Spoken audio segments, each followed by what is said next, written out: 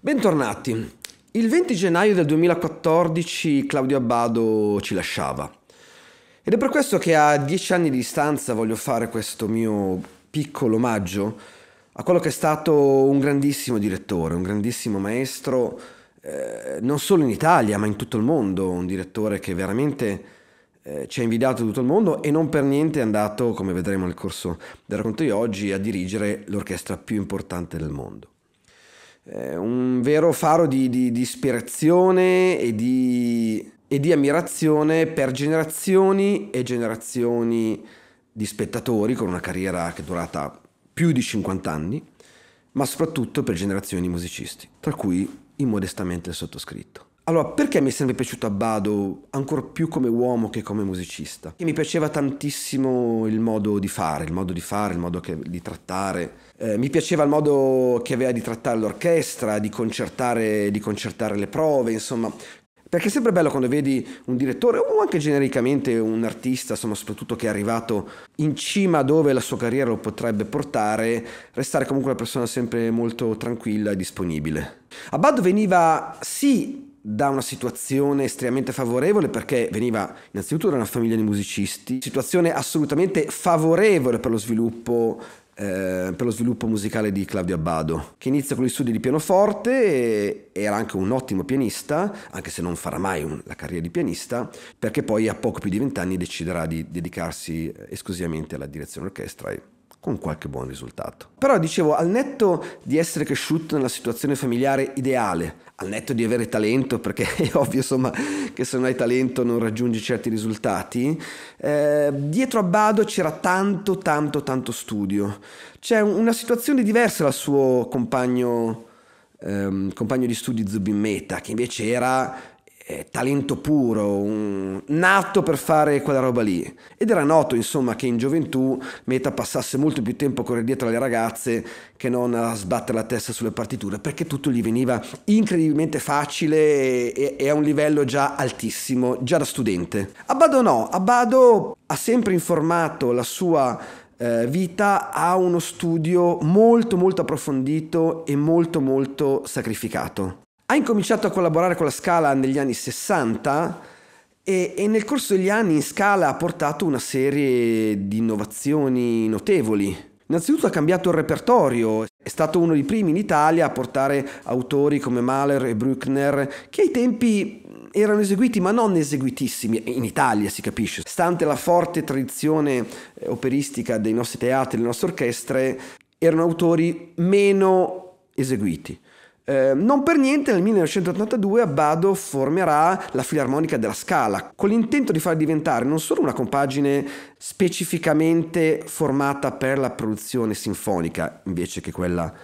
ehm, che quella lirica, ma con l'intento dichiarato di farla diventare, come poi diventerà negli anni, una delle migliori orchestre del mondo. Inoltre, sempre quando era a direzione del Teatro La Scala, aveva fatto una serie di iniziative importanti, come quella dei concerti per studenti e lavoratori, tramite una politica di biglietti a prezzi assolutamente popolari. Poi la sua collaborazione con La Scala finisce, nel 1986 va alla Vienna, vi resterà quattro anni per poi, tra l'89 e il 90, passare alla cima, alla vetta del, di quella che è la carriera per un direttore d'orchestra, cioè la guida della Filarmonica di Berlino. E pensate che fu il primo direttore della Filarmonica eh, di Berlino, non tedesco, sì c'era stato anche Celibidache, però Celibidache, anche rumeno, faceva comunque parte del mondo germanico. E voi capite che comunque arrivare nell'orchestra più importante del mondo, dopo un certo Herbert von Karajan, che era stato lì 35 anni,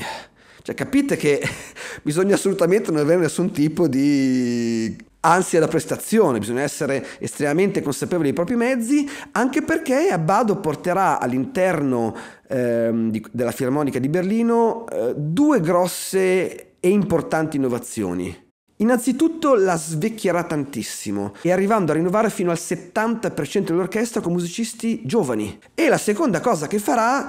cambierà alcune tradizioni, soprattutto nell'esecuzione di un certo repertorio e in particolare di Beethoven, che vedremo un po' più nello specifico più avanti nel video. Il suo rapporto con i giovani fu da sempre privilegiato, non per niente fonderà l'orchestra Mahler e collaborerà per tanti anni con la Chamber Orchestra of Europe, due eh, compagini fatte da, da, giovani musicisti, la Mahler in, in particolare, a cui Abbado non sottrarrà mai né tempo né energia né entusiasmo. Vediamo quali erano le sue principali caratteristiche dal punto di vista direttoriale. Beh, innanzitutto la memoria. La memoria veramente io non credo di avergli mai visto dirigere niente con lo spartito davanti. Perché avevo letto un'intervista lui diceva eh, se non dirigo memoria sono convinto di non saperlo abbastanza bene quindi memoria, memoria, memoria, ma anche un approccio molto intelligente che io ho sempre molto sposato alla partitura, un approccio sì filologico ma non dogmatico. Cioè lui diceva è importantissimo andarsi a cercare i manoscritti di cosa aveva fatto Beethoven, di cosa aveva fatto Mozart, per cercare di capire veramente eh, quali erano state le volontà e le indicazioni primigenie di questi grandi autori. Però capì anche che questa cosa non andava sopravvalutata e che molte volte più del manoscritto era importante vedere la prima o la seconda edizione sulla quale l'autore aveva fatto delle modifiche, delle correzioni. Perché noi tendiamo sempre a pensare che la eh, partitura di un compositore, anche di un grande genio, sia una sorta di, di, di tavola della legge immutabile, intoccabile e assolutamente indicatrici di quella che era la volontà del compositore. Non è vero, molte volte il compositore, e chiunque compone musica lo sa benissimo, anche il compositore più preparato, anche il compositore più geniale, quando poi va all'ascolto di quello che aveva scritto sulla carta, ai tempi non mica come oggi c'erano i sequencer e si poteva ascoltare già da casa, eh, si scriveva sulla carta e finché poi non si andava a, alle prove non si aveva veramente la percezione di quello che si era scritto. E quindi anche un grande compositore, anche un genio poteva tal, talvolta apportare le modifiche a quello che aveva scritto perché si rendeva conto che l'esecuzione era più efficace modificando determinate caratteristiche, per esempio della strumentazione o dell'orchestrazione. Quindi sì, manoscritti ma non percepiti come un dogma dell'assoluta e ultima volontà del compositore. Un'altra sua caratteristica abbastanza peculiare erano i tempi molto veloci. Eh, e qui aveva anche qui una teoria molto razionale e assolutamente condivisibile, molto diversa per esempio eh, da quello che pensava Celibidache che aveva tutta una propria eh, filosofia della fenomenologia musicale e dell'acustica per cui diceva i tempi vanno eh, valutati in base al posto, al momento, alla sala e a tutta una serie di altre specifiche che appunto magari approfondiremo quando parleremo di celibidache. Abbado no, Abbado aveva comunque un approccio molto razionale e molte, molti tempi, soprattutto le sinfonie di Beethoven, lui li staccava eh, a un tempo molto più veloce da quello che era la tradizione, anche la famosa tradizione 35 anni di Karajan. I metronomi, soprattutto di Beethoven, sono sempre molto contestati. Adesso, senza entrare in tecnicismi, ci sono dei grossi dubbi eh, fra gli studiosi, fra i musicologi, se l'80, sparo, che inteneva Beethoven alla semiminima di metronomo corrisponde veramente all'80 di oggi. Ma Bado in questo senso aveva tagliato la testa al toro e aveva detto va bene, noi non sapremo forse mai se l'80 dei tempi di Beethoven corrisponde all'80 di oggi, ma tagliamo la testa al toro, chi se ne frega, ma 80 era 80, cioè voleva dire quel tipo di pulsazione, cioè Beethoven. Se scriveva 80 voleva quel tipo di pulsazione. Ciò significa che se due movimenti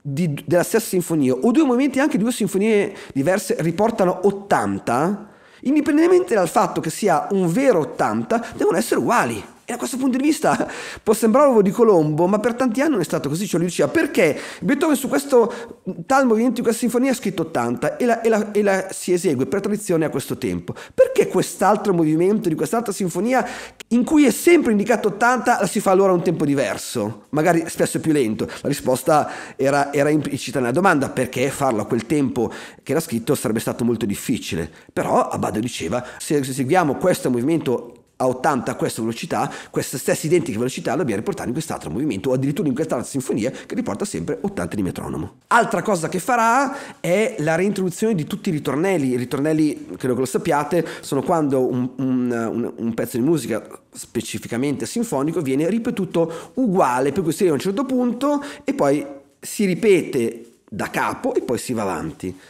Eh, molte volte questi ritornelli sono stati eh, elisi nella tradizione, nella tradizione, dell'esecuzione perché certe cose sembra, potevano sembrare un po' ripetitivi. Insomma, eh, Abbado diceva: no, quel ritornello ha una funzione strutturale e di forma fondamentale. E se dovessi eseguire quella sinfonia senza quel ritornello, mi sembrerebbe un monca, mi sembrerebbe di eseguirla senza una parte, come fare, eh, lui disse in un'intervista, come fare il ritratto di un uomo ma senza un braccio. Uno dei grandi rammarici musicali della mia vita è stato quello di non aver mai assistito